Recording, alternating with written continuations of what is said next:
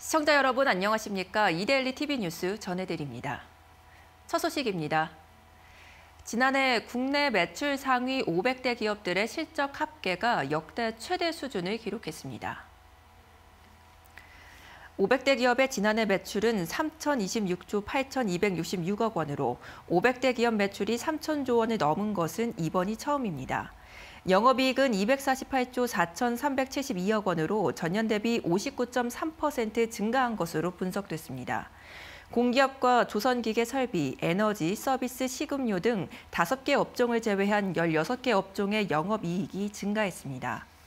삼성전자 영업이익은 전년 대비 43.5% 증가해 증가폭이 가장 컸습니다. SK하이닉스와 포스코홀딩스, HMM이 그 뒤를 이었습니다.